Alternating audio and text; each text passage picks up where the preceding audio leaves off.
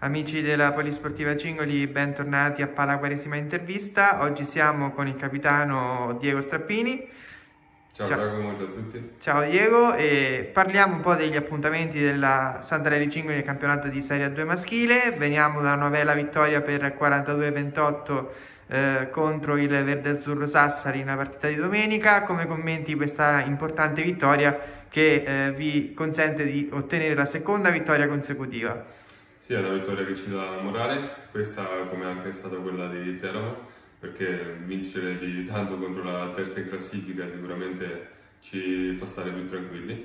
Eh, però dobbiamo anche analizzarla perché è una partita dove abbiamo commesso diversi errori, abbiamo perso sicuramente troppi palloni e abbiamo ripiegato male, soprattutto in inferiorità numerica, eh, però sono aspetti nei quali stiamo lavorando, abbiamo cominciato a lavorarci in settimana e sono sicuro che dalla prossima miglioreremo anche sotto questi aspetti. Sabato c'è la sfida al Bologna che nonostante la classifica comunque si è reso protagonista in queste ultime giornate di alcune ottime prestazioni. Come commenti questo, questa nuova partita che attende la Santarelli?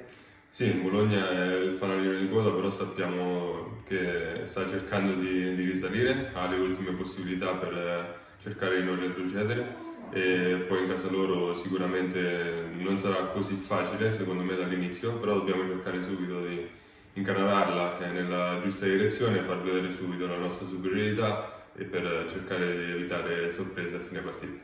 Grazie Diego, vi ricordiamo che la partita tra uh, Bologna e Santarelli Cingoli si giocherà sabato 5 marzo alle ore 19.30, vi informeremo sui nostri canali social se ci saranno eventuali dirette Facebook. Buona serata a tutti, ciao Diego, Buona grazie. Serata. Ciao, ciao.